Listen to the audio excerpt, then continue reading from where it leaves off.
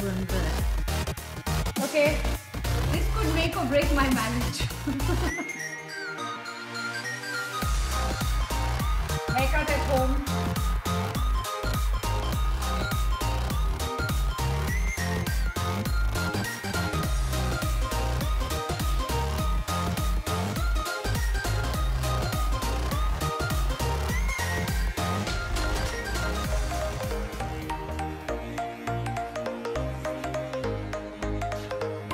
the after later. Bye.